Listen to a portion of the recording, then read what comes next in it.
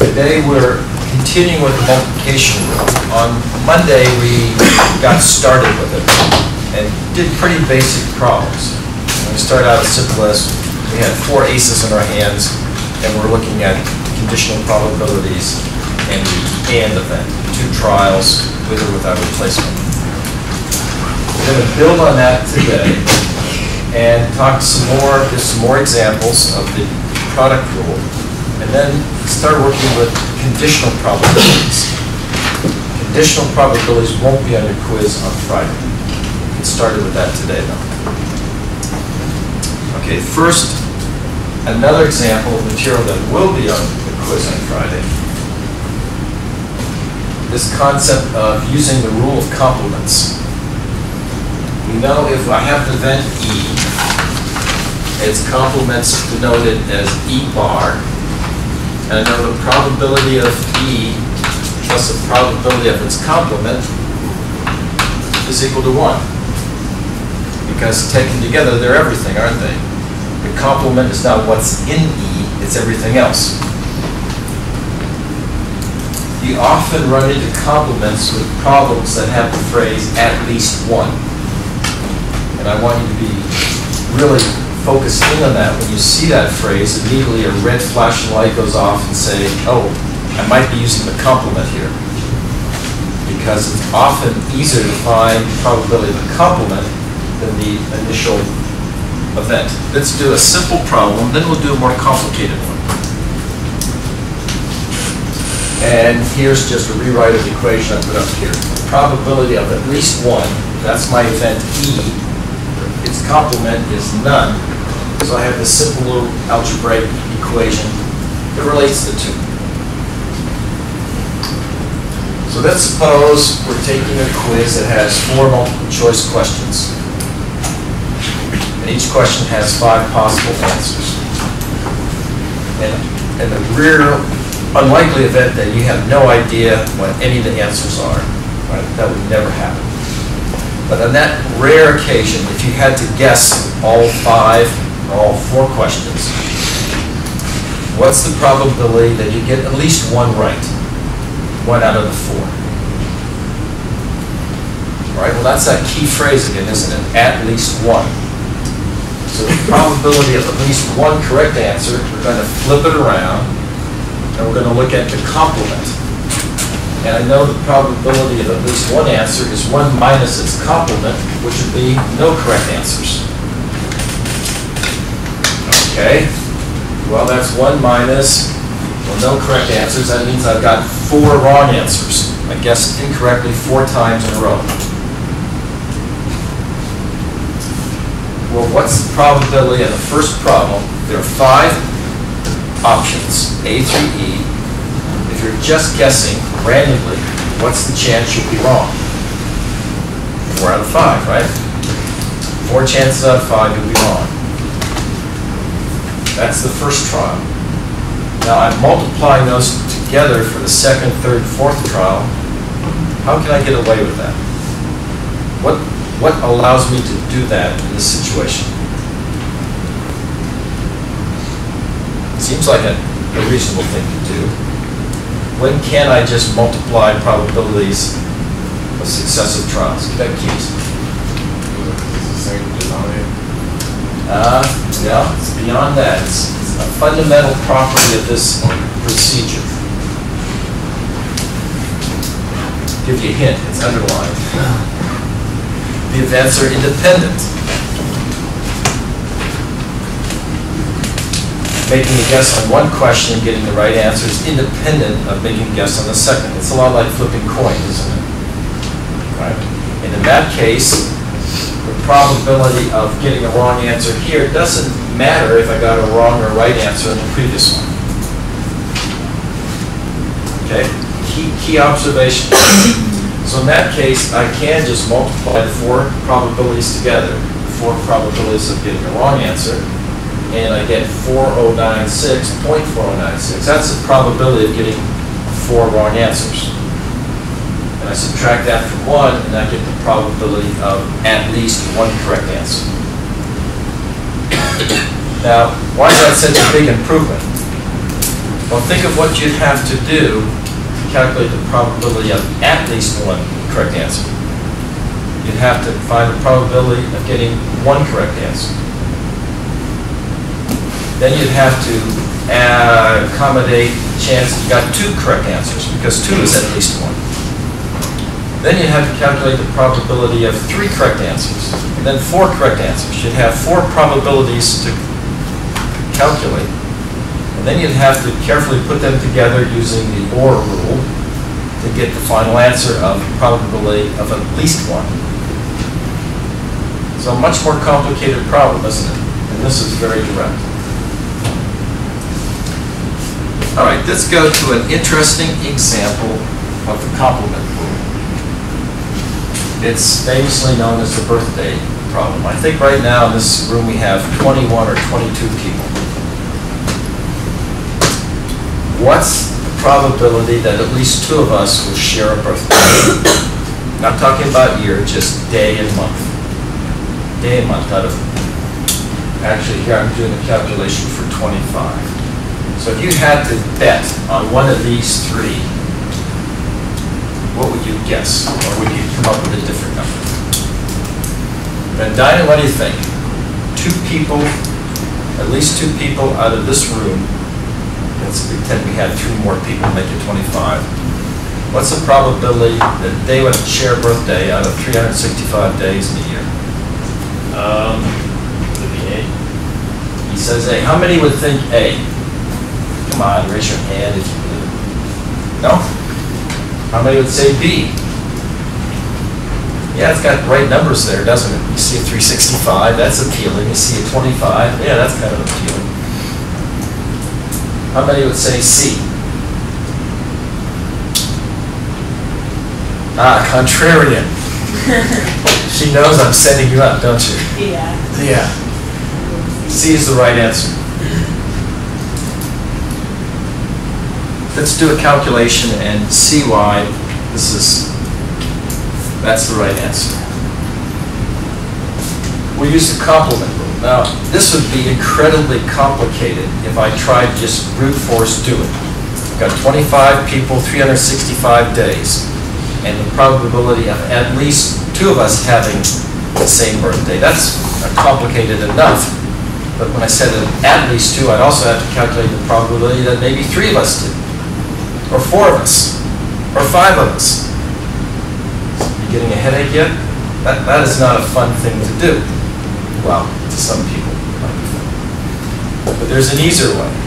What's the complement of at least one? None.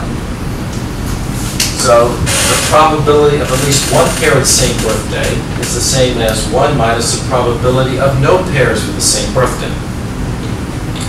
And I claim that we can calculate that. So we get started, first person, I'll go first, March 8th. Anybody here born on March 8th? No? All right. I'm the first one to go, so I can pick any of 365 out of 365 days, it doesn't matter.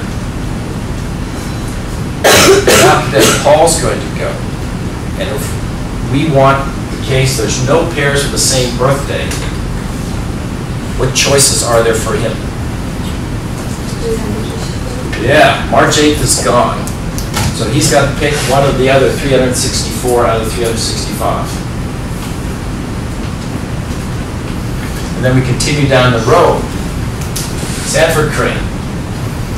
Well, he can't pick my birthday or Paul's birthday. He's got to be yet a different one. So 363 over 365. And then dot, dot, dot. It'd be all the way down to 341 over 365. Now that's not a, an easy number to calculate, but with enough patience in your HP calculator, you can do that. And in about a week, I'll show you how to do it much quicker when we get into permutations and combinations. But when you multiply all these together, you can see these numbers are around 0.9 and change. It's starting out as 0.99, and then by the time you get down here, it's about 0.93. But you're multiplying them together 25, 24 times. And when you do that, that's approximately This expression right here in parentheses is approximately .431. I subtract that from 1, and I see there's a better than 50% chance that in a room of 25 people, two people share a birthday. Now, my class this morning, there was exactly 25 of us, and we did have one common birthday. Let's see it. Let's see if it works. Here our probability is a little bit lower. At 23, it's about 50-50. We have, I think, 22 right now, so we're a little bit less than a 50% chance. Let's go around the room, shout out your birthday, and if you hear your birthday mentioned, raise your hand. March 8th. December 6th. April 20th. October 13th. Hear these? Mm-hmm. Gotta be loud. October 13th. December 15th. August 25th. February 10th. March 16th. June 18th, May 23rd. November 8th. February 14th, April 7th. September 26th. June 28th, You're gonna do it? September 24th. Close, but doesn't count. June 25th, June 16th. September 17th. October 19th. Major Cone? December 28th. We didn't get one. No? All right. Well, that's the way we happily flipped a coin. We got a tails instead of a heads. In this morning's class, it came out heads. We had one, uh, two of the cadets had the same birthday. This is an example, and I'm going to show you another example at the end of class. We're actually, what a treat today, you're going to see a small YouTube video. Believe that YouTube in math class? we don't always do a good job of assessing uh, risks, probability, or uncertainty. Sometimes we're good at it, sometimes we're not very good. This is a perfect example. Few people would guess that out of, in a room full of 25, there's a 50% chance of having two birthdays the same. It just doesn't seem likely, does it? How could that be? But it is.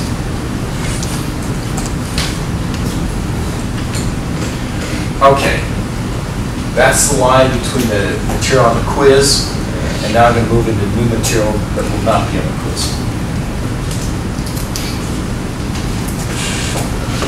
The first equations are product rule that we derived and worked with in the last class. And I'm using this notation now, that, that and, which means compound event happening single trial. And that is the product rule formula. Now that's just a regular algebraic equation. I can do all the operations I'm permitted under the rules of mathematics. And I can just divide both sides by the probability of A, as long as the probability of A is not zero. And I get this equation. All right, so what's the big deal? Well, it's sometimes we're interested in the conditional probability and not the other probabilities. I use this equation if I want to know the probability of A and B, top equation. But there's lots of cases where I want to know a conditional probability. And then I can rewrite, rewrite that top equation into this form. It gives me a way to calculate it. All right, we're going to work with uh, this example for the, for the rest of the class. It's a polygraph lie detector test. Anybody here ever take a polygraph test? No? Well, I've taken a number of them. Tronco's wondering, why did he take a lie detector test? It was for a security clearance. But not pleasant assume 98 people took a lie detector test. And what are the possibilities? Well, either the person lied or they didn't. And either the machine, the test suggested or indicated they lied, or it did not. So every person out of that 98, I could put them in one of these four squares. Correct? It's just a contingency table. In red, I put the numbers that would represent errors. where the lie detector got the wrong result. And these two corners, it got it right. False negatives, false positives. So if you're the subject of a lie detector test, you're rooting for one of these conditional probabilities to be high, and the other, another one to be low. In the- In the following examples, we're going to use these events. T would be the person really told the truth. L, the person told a lie. A plus will indicate a positive test result, and that's always indicates that a lie. That's just the way they say it. A positive polygraph result means we think you lied. And a negative polygraph result would mean it looks like you didn't lie, right? So keep that in your mind, and we're going to practice a bit with conditional probabilities, because these get to be tricky. I want you to look at that notation and translate it to an English sentence now. Probability of T given a positive result. I'll do the first one. When you translate these, remember the vertical bars, translate that, given that. And everything to the right of the vertical bar, we presume we already know that to be true.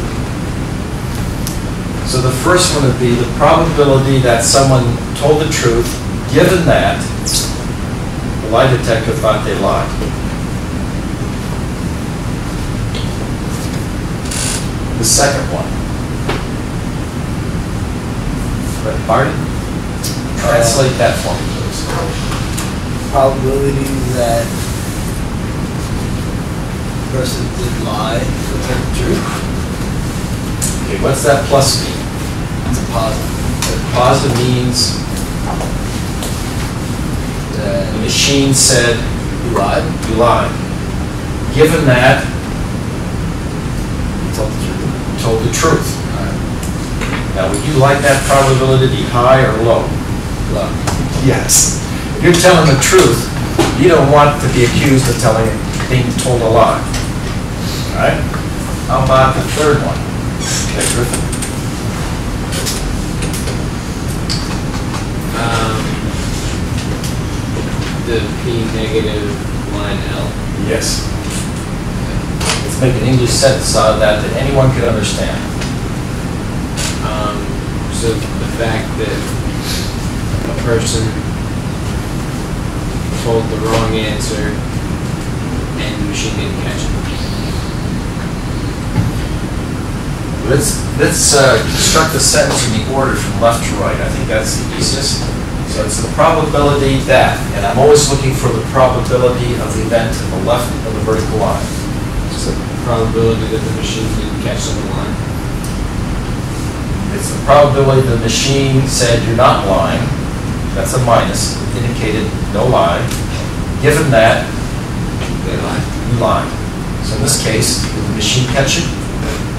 No, you got away. All right? Bill Petracco, would you do the last one, please? Uh, probability that the machine says that you lied, and you did actually lie. So that means it caught you. That's the probability it's gonna catch you if you actually lie. Now let's go the other way around.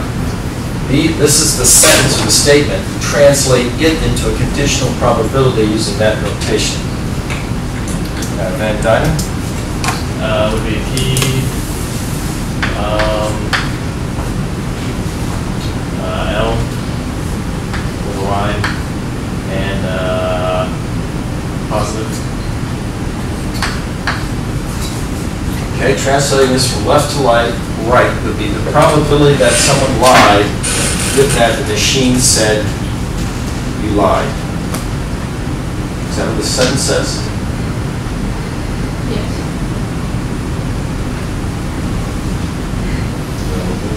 No. Probability, the person who told a lie, so what do I know? What's given? Lied. You know that, so that's the given. But isn't it going left to right? Well, my notation does, but in good old English, I can put them in any order. And that's one of the challenges of this. What do I know in the sentence? person who told a lie. So I know you told a lie. That has to be the given part that goes to the right of the line. And the probability that it was detected by the machine, so it'd that.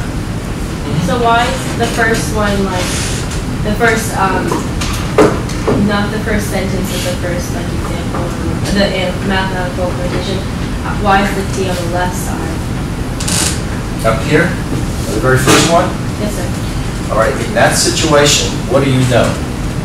All you know, pretend you are the operator of the machine, and you know you got a positive result. In- Oh, okay. And You you're not know sure if this person's lying or not, Mhm. but that P of T given positive is the probability that they're lying. Okay. Right. So just the definite side always, is always on the right. Yeah. On the right is what you know, or what's happened, what's given, however you want to think of it. Okay?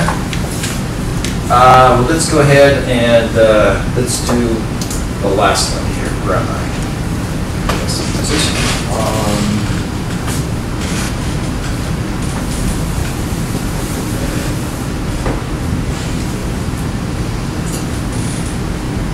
Probability of P of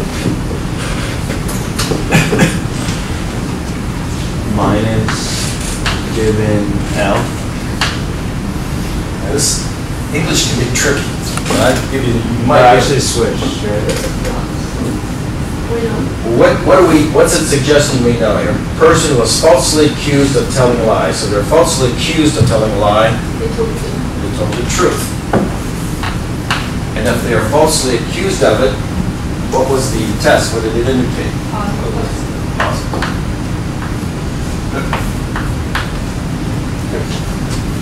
These are not easy. I've seen over the years teaching it, that's why I introduce these slides. You've got to practice thinking about what the conditional probabilities mean and be able to translate back and forth from the English to the math, and the math to the English. Well, now that we've done that, let's actually calculate some of these probabilities, given this contingency table. The first one we'll do is the probability that the person told the truth, given that the machine said you're lying. All right, I'm going right to the formula, and that's the formula, except I put, instead of A's and B's, I've got T's and pluses. So let's plug in here. What is the probability of T and plus? So think of this, I'm picking a person at random from the 98. What's the probability that they told the truth, but the machine said they lied? There are 15 of those, right? You see it? That's a, we're going to call it joint probability. That's 15. So that probability is 15 out of 98. That's the numerator. Keep in mind experiment again. I'm picking one of those 98 people at random, and what's the probability that that person I selected at random was accused of lying? The machine said, you're lying. How many times did that happen? 57 times. 57 times, the machine said, or indicated that person's lying. And when you divide those two fractions, you get 15 over 57. That's the probability, that's the conditional probability. Practice this a few more. Let me show you a shorter way to get to it, a more graphical way. I'm interested in the probability of t given plus. If you have a contingency table, you've got a nice graphical tabular representation of the data, and I can make use of that. If I'm given plus, that means I know that machine indicated a lie, I can, I can ignore rows or columns that are, don't indicate that. For example, the first row is the only row that says the machine indicated a lie. The second row, the machine did indicate a lie. But I can ignore this row because I've been told that the machine said this person lied. So I can just ignore that row, the second row. And I'm left with this row. Okay, how many are in that row? How many times did the machine say someone lied? 57. Of those 57 people, when the machine said you lied, how many of them are telling the truth? 15. So the conditional probability is 15 out of 57. Easier? Let's do a few more, just to practice with that. I want you to mentally be erasing rows or columns, just focusing in on one. Uh, Which one did I just do? Plus and T? Uh, So that's, yeah, we did T and pluses, do plus and T. Which row or column can I eliminate from consideration here? No, we did it the other way around. Minus. I'm on this one right here. First one. I've given T, the person told the truth. Which row or column am I focused on? And all the others I'll ignore. Yeah. Forget about these. I'm just focused on T now. That's what I've been given. That's what I've been told. And how many are there? 47. Now, in this column, how many of those were indicated as a lie, a plus? 15. So that is P of plus given T. Let's do another one. Let's do the last one. Plus given L. Which row or column can I cross out? T. Yes, I can cross out T. Right. I can focus on L, because that's what I've been given. So I can ignore the first column. I'm focused on just the second column and how many outcomes correspond to that. 51. Of those 51 outcomes, how many tested positive? 42. So this number, 42 over 51, is the probability that if you lie, the machine will catch you. The machine got it right that time, didn't it? You lied, and it caught you. Heads going back and forth, either fighting sleep. You got Bobbit, what is it? You're just so amazed by conditional probability and awed, slapping yourself. Well, at least you're making an effort. The eight o'clock class this morning, I had to use my grown-up voice.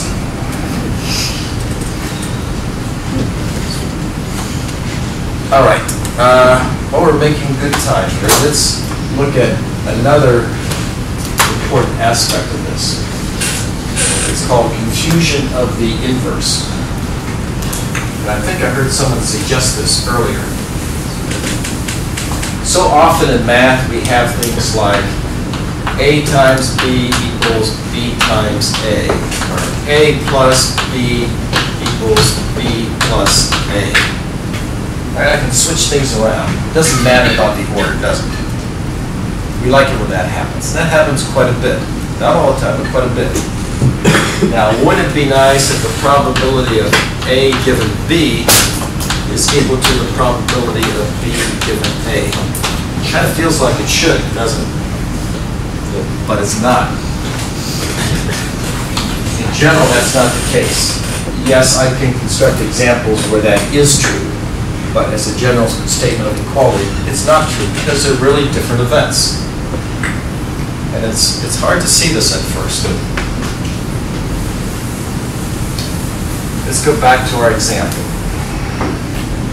Suppose you are a manufacturer of polygraph machines. And you want to put out an advertisement saying that my machine is 99% accurate in catching lies. What prob, conditional probability does that 99% represent? My machine is 99% accurate in detecting lies.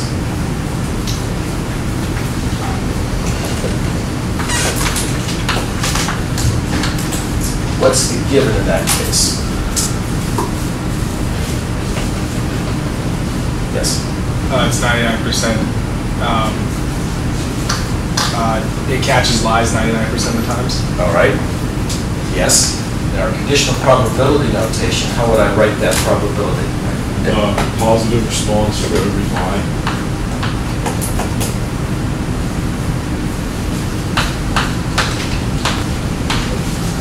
How could you test a polygraph machine? Well, you'd have to know the person's lying or not, right?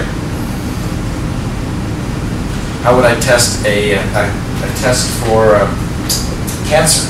I'd have to know the person had cancer or not. So I'd have to get a group of people together and say, all right, some of you lie to me, some of you tell the truth.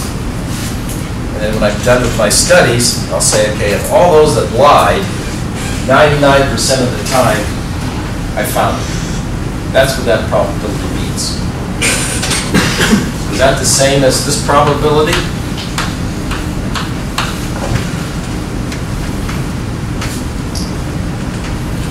What's the difference between the meaning of these? You've got to subtle at first. Get your brain a little bit twisted, doesn't it? What are you knowing here? What the machine said. what the machine said. So now you'd be in the role of the operator of the machine. I'm operating the machine, and I've had the student in my room for an hour, and I've been grilling him, asking all sorts of questions, watching his heart rate and his breathing rate and how much he's sweating and all that. And I come to the conclusion that he's lying. But what's the probability that he's actually lying? No, it's not 99, it's not 99%, it's a different percentage. It's only 99% accurate if I knew the person's lying to begin with. Just because I detected a lie, it doesn't mean it's 99% likely that that person is actually lying. Let's go back to the problem and calculate these probabilities. Now, in this case, I don't think it's 99% accurate, but let's calculate this probability. P of plus given L. So I'm looking at this column, 51. And how many pluses do I have is 42. And someone get out their calculator, and tell me what that is. 0.824. 0.824. So, um, based on this sample, the lie detector is only accurate in catching lies 82% of the time. But what's this probability? Well, I'm given plus 57. And what's my, how many L's are there? 42. And what's that? 0.737. There we go. And this is the more interesting probability because on the real world, when you're taking a polygraph test, this is how they're going to be evaluating you. They don't know whether you're lying or not. But this is saying that base, their claim has a .736 chance of being right.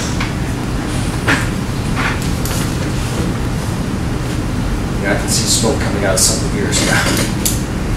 All right, we will work more with these additional probabilities. We'll do a a lot more examples on, uh, on Friday. Any questions right now?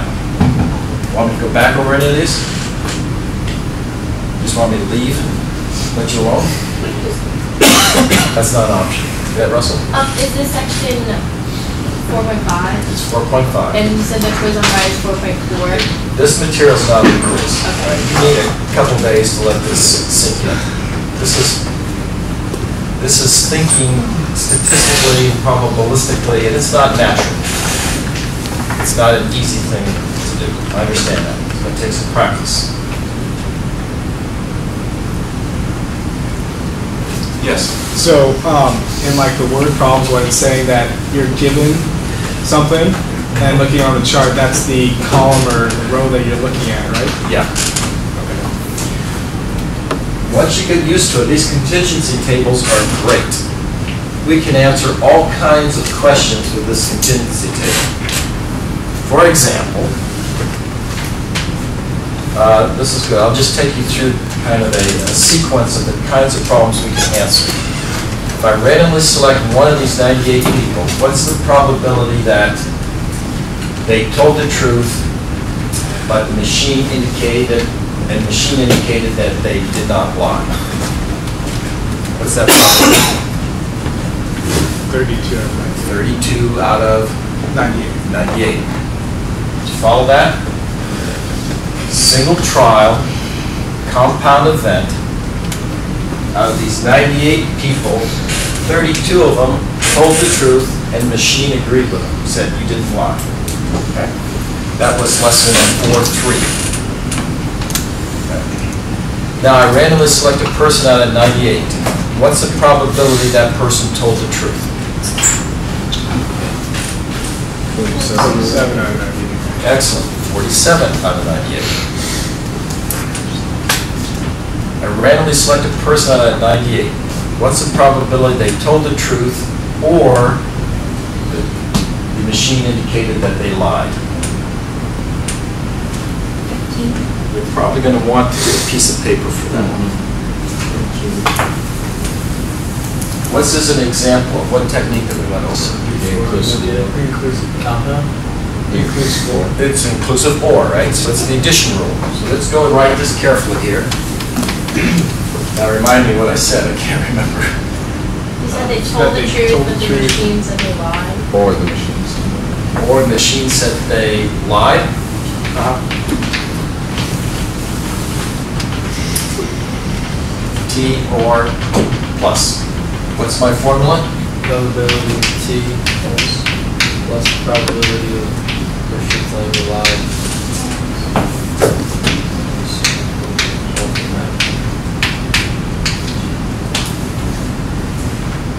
Can you see that that's just the addition rule? A's and B's are replaced, replaced with T's and pluses. All right, so let's go through and calculate this. The probability of someone telling the truth out of the sample. 47 out of 98. The probability of having a positive test result. Fifty-seven. out of 98. Now, what's the probability, this is an an and, joint probability, of telling the truth and having it uh, say you lied? Fifteen.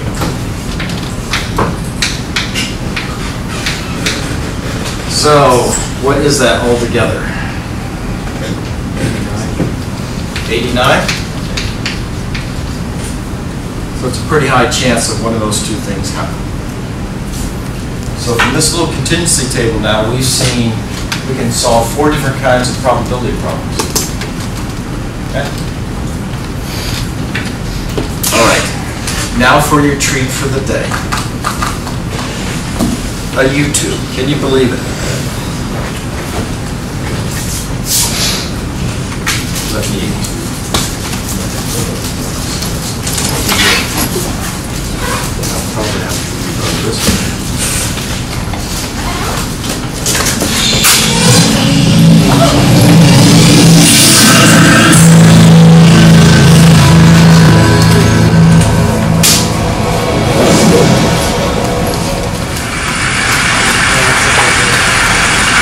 As I was thinking, it's upset All right, a little bit of relative to the background. other. A little bit of background. TED Talks, my favorite way to spend lunch. This man is a professional statistician, and people actually earn their living doing this. And he especially is calculating the probability involved with genetics. This is a talk he gave, and a lot of the theme about it is how sometimes humans do a really, really poor job of grappling with uncertainties or probabilities. Earlier on, we saw how difficult it was for you to believe that it's a 50-50 chance of two people having the same birthday, if there's 25 in the room. That's just counterintuitive, isn't it? All right? He's going to describe a real-world case now where a very blatant error in statistics, or probability, was, caused a lot of grief and uh, anguish to a person. Each of them taken together is unlikely. Here's a more topical example of exactly the same thing. Those of you in Britain uh, will know about what's become rather a celebrated case of a woman called Sally Clark, who had two babies who died suddenly, and initially it was thought that they died of what's known informally as cot death and more formally as sudden infant death syndrome. For various reasons, she was later charged with murder, and at the trial, her trial, a very distinguished paediatrician gave evidence that the chance of two cot deaths, innocent deaths, in, in a family like hers, which was professional and non-smoking, was 1 in 73 million. Kind of long story short, uh, she was convicted at the time, later, fairly recently, acquitted on appeal, in fact on the second appeal, uh, uh, and, and just as added in context, you can imagine how awful it is for someone to have lost one child and then two. Uh, if they're innocent, to be convicted of murdering them, to be put through the stress of the trial, convicted of murdering them, and to spend time in a women's prison where all the other prisoners said, you killed your children. Really awful thing to happen to someone. And it happened in large part here because the expert got the statistics horribly wrong in two different ways. So where did he get the 1 in 73 million number? He looked at some research which said the chance of one cot death in a family like uh, Sally Clark's is about 1 in 8,500. So he said, I'll assume that if you have one cot death in a family, the chance of a second child dying from cot death are changed. All right, you're on the defense team, legal counsel. Educated person, had three years of education beyond college, and the prosecution brings up this information.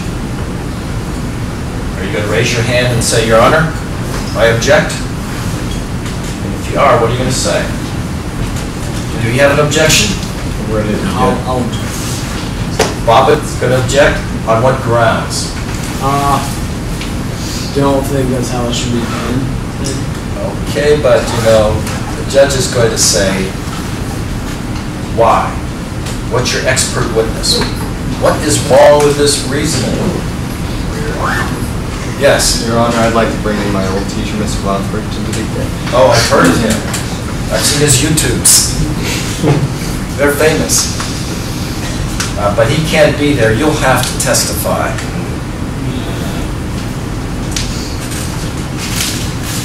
Yes, Were the children twins? no, they're born uh, separate, separate, two separate births. Well, this, will probably have similar genetics to the point where, like, if one of them is susceptible to death, and the second one, since they share a lot of the same genes, might have like a hereditary, might be like prone to having the same problems. Excellent. He's on to something. So, in math speak, how would we describe these events? Well, are they dependent or independent? What assumption is being made by this doctor, this pediatrician? He's saying they're independent. Hey, there's one in 8,500, you got a second one, that's one in 8,500, guess what? That's a probability. But are they really independent events? Genetics, sure, environmental factors. There's lots of reasons why they not, might be dependent. And this is a blatant error in calculating probabilities, right? We know that, 105. But it's so sad that this pediatrician didn't know that. All those lawyers on either side didn't know that. The judge didn't know that. And they went on and she was convicted. That's what statisticians would call an assumption of independence. It's like saying if you toss a coin and get ahead the first time, that won't affect the chances of getting ahead the second time. So if you toss a coin, coin twice, the chances of getting ahead twice mentioned is really silly. It's worse than silly, it's really bad science. Nonetheless, that's how it was presented, and at trial, nobody even argued it. That's the first uh, problem. The second problem is, what does the number of 1 in 73 million mean? So after Sally Clark was convicted, you can imagine it made rather uh, a splash in the press. One of the journalists from from uh, Britain, one of Britain's more reputable newspapers, wrote that what the expert had said was the chance that she was innocent was 1 in 73 million. And that's a logical error. It's exactly the same logical error as the logical error of thinking that after the disease test, which is 99% accurate, the chance of having the disease is 99%. In the disease example, we had to bear in mind two things, one of which was the possibility that the test got it right or not, and the other one was the chance a priori that the person had the disease or not. It's exactly the same in this context. There are two things involved, two parts to ex- the explanation. We want to know how likely, or relatively how likely, two different explanations are. One of them is that Sally Clark was innocent, which is a priori overwhelmingly likely. Most mothers don't kill their children. And the second part of the explanation is that she suffered an incredibly unlikely event. Not as unlikely as 1 in 73 million, but nonetheless rather unlikely. All right, so the first kind of error you you detected, it's this independent versus dependent, very blatant. What he's talking about now is a conditional probability, a wrong way of reasoning about uncertainty. We touched upon it today, and I'll, I'll bring it up again Friday. It's, it's much more subtle, and it- it's hard to grasp. But it was fundamentally flawed way of thinking about that odds of 73 million to 1. Another famous example, of this is, I don't know if you would remember the O.J. Simpson case. That's another one you see in example statistics when uh, they're looking at, I think the, uh, it was the fact that he had uh, struck her and physically abused her, and the defense said, oh, that only happens one in 9,000 times. So ignore it. Uh, don't do a good job reasoning about uncertainty probabilities. And here's a tragic example. Uh, As he said, she went to prison after the second appeal. The second appeal, she got out, but tragically, uh, several years later, she committed suicide due to error in math. So I you can sleep tonight. Do your stat lab. I'll see you Friday.